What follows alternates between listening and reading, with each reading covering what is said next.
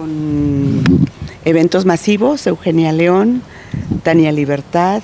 Susana Zabaleta, eh, tenemos a Coral y a Julio Revueltas, nietos de, los Silvestre, José, Fermín y Rosaura. Coral es una de las mejores pintoras que tenemos en este momento y, y Julio pues un gran violinista. Tenemos el 17 de octubre a el gran tenor de todos los tiempos,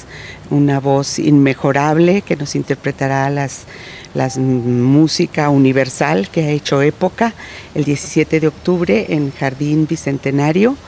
en, los, en el gran tenor Plácido Domingo. Tendremos exposiciones de vienen los mejores pintores del país seleccionados por la Secretaría de Cultura, por el Fondo de Cultura Económica,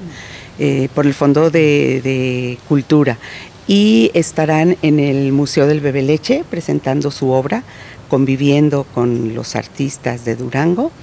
Tendremos la presencia en todos los municipios, este, este Revueltas en los municipios ya empezó, ya está en,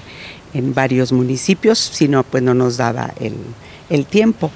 y tendremos como estado invitado a San Luis Potosí. Viene ballet, viene teatro, viene la Sinfónica de San Luis Potosí que interpretará música de Silvestre Revuelta, Sense Maya, que es de lo más complicado pero sublime, por supuesto, del gran Silvestre Revueltas. Estará la banda de música de San Luis Potosí haciendo ensamble con la banda de música de Durango tendremos a Abelina Lesper en una de las críticas de arte más importantes del país, pues conviviendo con los jóvenes nos interesa mucho la formación de los de los jóvenes.